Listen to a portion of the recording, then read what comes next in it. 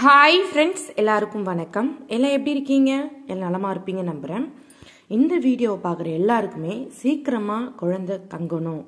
நீங்களும் நீங்கள் ஆசைப்படுற மாதிரி சீக்கிரமாகவே ஒரு அம்மா ஆகணுன்றதுக்காக நான் ப்ரேயர் பண்ணிக்கிறேங்க. இந்த வீடியோவில் உங்களுக்கு ஒருவேளை பாடியோட ஹீட்டால் அதாவது உடல் சூட்டால் குழந்தை தள்ளி போயிட்டே இருக்குது அப்படின்றப்போ நான் இப்போ சொல்கிற இந்த ரெண்டு டிப்ஸை மட்டும் நீங்கள் ரெகுலராக ஃபாலோ பண்ணீங்க அப்படின்றப்போ அது எப்பேற்பட்ட உடல் சூடாக இருந்தாலும் ஆட்டோமேட்டிக்காக கிளியர் ஆகிடு சீக்கிரமாகவே நீங்கள் ப்ரெக்னென்ட் ஆகிடுவீங்க ஆல்ரெடி நான் ஒரு உடல் சூடை பற்றி ஒரு வீடியோ போட்டிருந்தேன். அதை ஃபாலோ பண்ணுறவங்க நிறைய பேர் அது கீழே வந்து இன்னும் நிறைய கமெண்ட் வந்து கேட்டுட்டு இருந்தீங்க. இன்னும் ப்ரீஃபாக அதை பற்றி எக்ஸ்பிளைன் பண்ணலான்னு சொல்லிட்டு இந்த வீடியோ உங்களுக்காக அப்லோட் பண்ணுறாங்க நிச்சயமாக இது ரொம்ப யூஸ்ஃபுல்லாக இருக்கும். இப்போது நம்ம ஒரு சில ஒரு அந்த மாதிரி இயற்கையான முறையில் ஃபாலோ பண்ணுன்றப்போ அது வந்து சீக்கிரமாக ரிசல்ட் கொடுக்காது. ரொம்ப நேரம் ஆகும்னு சொல்லிட்டு நிறைய பேர் சொல்லுவாங்க. அப்படிலாம் கிடையவே கிடையாது. அதுவும் சீக்கிரமான ஒரு ரிசல்ட் கொடுக்கும். நீங்கள் கவனிச்சு பார்த்தீங்க அப்படின்றப்போ. அதை ப்ராப்பராக பண்ணிகிட்டே போகணும். சரிங்களா? டேப்லெட் சாப்பிட்டுன்றப்ப பட்டுன்னு தலைவலி விட்டுரும். ஆனால் கொஞ்சம் கஷாயமோ ஹாட் வாட்டரோ குடிச்சிங்கன்னா அது எடுத்துக்கிறது அது சரியாகிறது கொஞ்சம் டூ மினிட்ஸ் த்ரீ மினிட்ஸ் ஆகும். அதே மாதிரி தாங்க நம்ம இயற்கையான முறையில் உடம்பு சரி பண்ணால் உடம்புக்கு ரொம்ப ரொம்ப நல்லது. டேப்லெட் போட்டு டேப்லெட் போட்டு உடம்பு சரி பண்ணுன்றப்போ அது உடம்புக்கு அவ்வளோ கெடுது. அந்த வகையில் நேச்சுரலான முறையில் உடல் சூட்டை எப்படி குறைக்கிறதுன்னு சொல்கிறேன் ஃபஸ்ட்டு உடல் சூடு உங்களுக்கு எப்படி இருக்குது? எனக்கு பாடி ஹீட்டாக இருக்கிறத வந்து நான் எப்படி ஃபைண்ட் அவுட் பண்ணுறது அப்படின்றத சொல்கிறேன் பாடி ஹீட்டாக இருக்கிறதால ஒருவேளை குழந்தை தங்காமல் போகுமா? நிறைய பேர் கேட்குறீங்க அதையும் உங்ககிட்ட ஷேர் பண்ணுறேங்க ஃபஸ்ட்டு குழந்த குழந்தை தங்கணும் அப்படின்றப்போ உடம்புல ஒரு பர்டிகுலர் அளவு டெம்பரேச்சர் இருக்கணும் பர்டிகுலர் அளவு கூலிங்கும் இருக்கணும். இது இருந்தால் கண்டிப்பாக குழந்தை தங்குவாங்க. உடம்பு ரொம்ப கூலிங்காக இருந்தாலும் ரொம்ப டெம்பரேச்சர் அதிகமாக இருந்தாலும் குழந்தை தங்க மாட்டாங்க.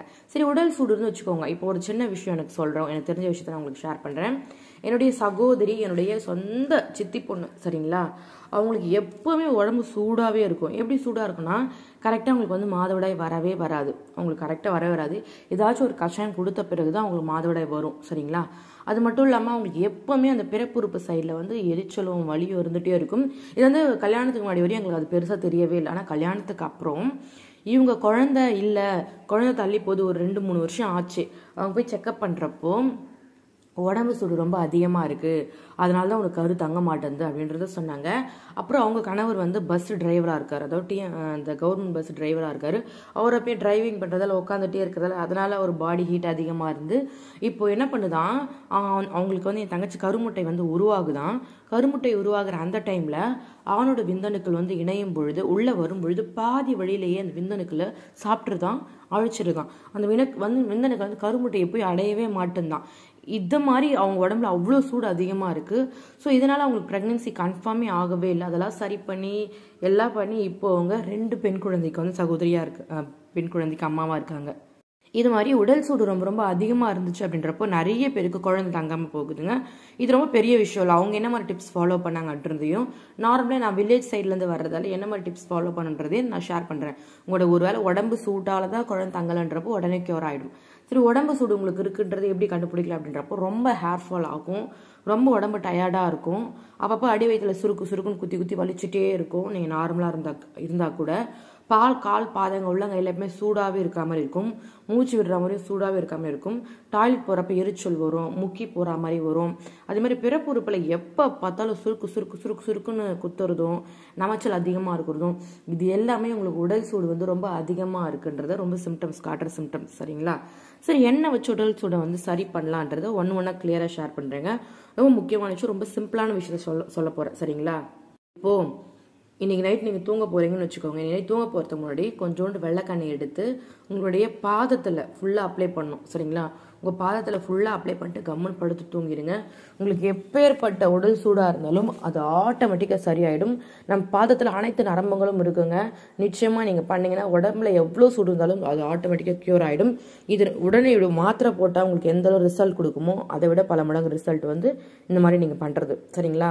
ரெண்டாவது வந்து ரெகுலராகவே உங்களுடைய சாப்பாட்டில் வந்து தயிர் இருந்துகிட்டே இருக்கும். தயிர்ன்றது வந்து மோர். தயிரும் மோரும் நீங்கள் அதிகமாக எடுத்துகிட்டே இருக்கீங்கிறப்போ உங்கள் உடம்புல இருக்க அந்த டெம்பரேச்சர்லாம் குறையும். முக்கியமாக உடல் சூடு கண்டிப்பாக தனியுங்க இது ரொம்ப முக்கியமான டிப்ஸ் மூணாவது நான் ஆல்ரெடி நிறைய வீடியோவில் சொல்லியிருக்கேன். ஒரு இளநீர் வந்து முந்தின நாளே வாங்கிட்டு வந்து வச்சுக்கோங்க. நீங்கள் கேட்டிங்க அந்த இளநீர் கெட்டு போகாதா? மறுநாள் இருந்து அவ்வளோ கெட்டு போகாது. நைட்டு வாங்கி வந்து வச்சுக்கோங்க. அதில் ஒரு ஸ்பூன் ரெண்டு ஸ்பூன் பனக்கற்கண்டு ஆட் பண்ணிக்கோங்க. அதே டாப் வந்து க்ளோஸ் பண்ணி வச்சுருங்க. கலை தூங்கி எழுந்தால் அப்படியே குடிச்சிருங்க. மட மட மடன் வெறும் வயிற்றில் குடிச்சிருங்க. அந்த வெளி இந்த இளநீர் கூட அந்த பனக்கற்கண்டை ஆட் பண்ணி குடிக்கும் பொழுது அவ்வளோ நல்லது. எவ்வளோ உடம்பு சூடாக இருந்தாலும் அது சரியாயிடும். ஒருவேளை நான் அந்த மாதிரி எனக்கு குடிக்க பிடிக்கலன்றவங்க வெறும் இளநீரே மட்டும் வெறும் வயிற்றில் குடிச்சு பாருங்கள் சரியாயிடும். சரிங்களா? ஏன்னா அதில் நிறைய சத்துக்கள் அதிகமாக இருக்குது உங்களுக்கு உடம்பு சூடு இருந்துச்சு அப்படின்றப்ப தனியும். சரிங்களா? அடுத்து ரொம்ப ஒரு சிம்பிளான டிப்ஸ் சொல்ல போகிறேங்க எப்போவுமே நீங்கள் உடம்புக்கு குளிச்சு தரணுன்றப்போ கண்டிப்பாக இப்போது இன்றைக்கி தலை குளிச்சிங்கன்னு வச்சுக்கோங்க. நாளைக்கு காலைல கண்டிப்பாக நீங்கள் உடம்புக்கு நல்ல த தலைக்கு நல்ல தேங்காய் வச்சிடணும். கண்டிப்பாக புரிஞ்சுக்கோங்க.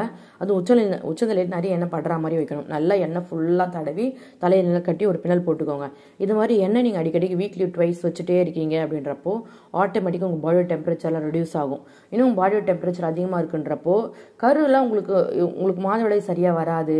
கருப்பை வந்து ஒரு மாதிரி வீக்காக இருக்க மாதிரி ஃபீல் பண்ணுவீங்க. கரு கருமுட்டைகளே உருவாகாது. கருமுட்டைகள் உருவாகாலும் ஸ்ட்ராங்காக இருக்காது. அப்படி ஸ்ட்ராங்காக இருந்தாலும் விந்தணுக்கள் வந்து இணையிறப்போ அது அந்த உடம்பு ரொம்ப சூட்டால் வந்து அதை வந்து களைஞ்சு போயிடும் அதனால தயவு செஞ்சு உடம்பு சூட்டை வந்து சரி பண்ணிக்கோங்க. அதுதான் நீங்கள் ப்ரெக்னென்ட் ஆகிறதுக்கு சீக்கிரமான பண்ணுறதுக்கு ஒரு விஷயம். சரிங்களா?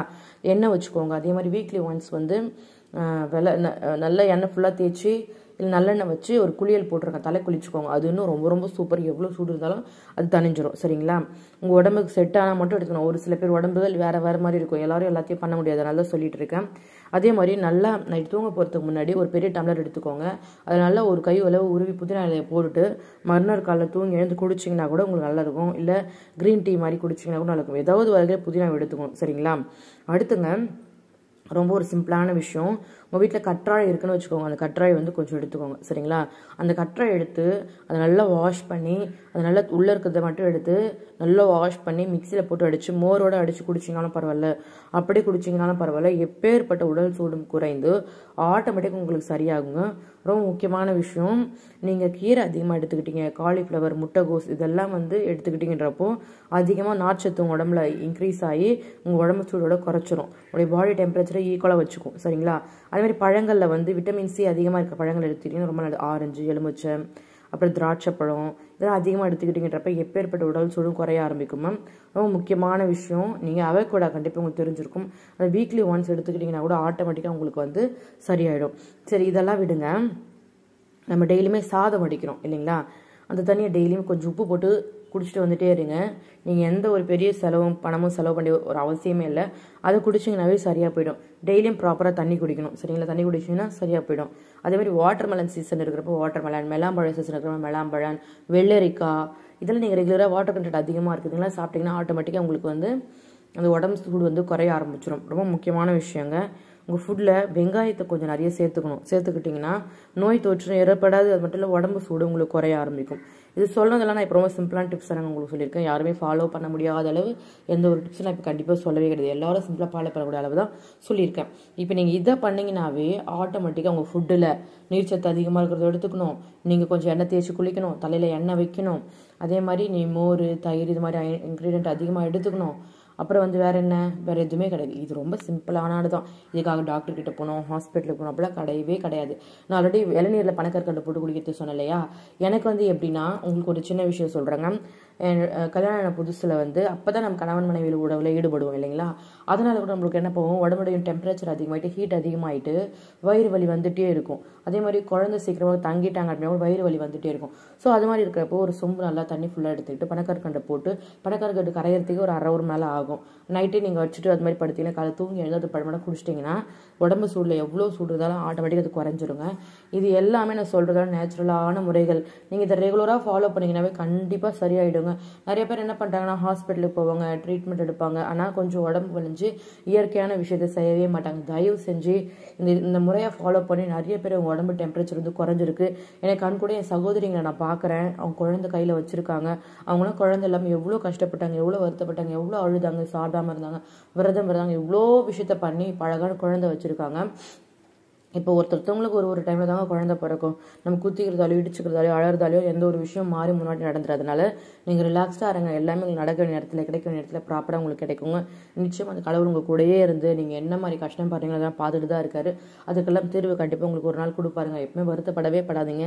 தைரியமாக இருங்க. ஸ்ட்ராங்காக இருங்க. எது எதாலும் எடுத்து ஃபேஸ் பண்ணுங்கள் ஓகே என்னால் முடியும். நான் இதுக்கெல்லாம் நான் உடஞ்சி போக மாட்டேன்னு தைரியமாக இருந்தீங்கன்னா எப்பேற்பட்ட பிரச்சனை வந்தாலும் உங்களை விட்டு பயந்து ஓடிடுங்க. நீங்கள் மற்றவங்களுக்கு கேட்டுருவாங்கன்னு பயப்படுறதோ உங்களுக்கு நீங்களே பயப்படுறதோ மாமியாருக்கு பயப்படுறதோ ஒரு குழந்தை இல்லைன்றதுக்காக நீங்கள் உங்களே ஒரு மாதிரி கில்ட்டாக எடுத்துக்கிறதோ இதெல்லாம் இருக்கிறதால ஒரு யூஸும் கிடையாது. இதெல்லாம் உங்களை நீங்களே காயப்படுத்திக்கிறதுக்கு சமங்க. இதெல்லாம் தேவையே கிடையாது. குழந்தைன்றது நம்ம கையில் கிடையாது. பிறகுறப்ப அது கண்டிப்பாக பிறக்கும். நீங்கள் எந்த ஒரு ஃபீலிங்ஸும் பண்ணாதீங்க எந்த ஒரு வருத்தப்படாதீங்க நிச்சயமாக நீங்கள் ப்ரெக்னென்ட் ஆவீங்க. இந்த சேனலை பார்க்குற எல்லாருமே இந்த வீடியோ பார்க்குற எல்லாருமே சீக்கிரமாக ப்ரெக்னென்ட் ஆகிட்டீங்க அப்படின்ற குட் நியூஸ் சீக்கிரமாக சொல்ல போகிறீங்க ஒரு நாள் பாடி டெம்பரேச்சரில் உங்களுக்கு குழந்தை தள்ளி போச்சுன்றப்ப இந்த டிப்ஸை கண்டிப்பாக ஃபாலோ பண்ணுங்கள் okay friends thank you so much bye bye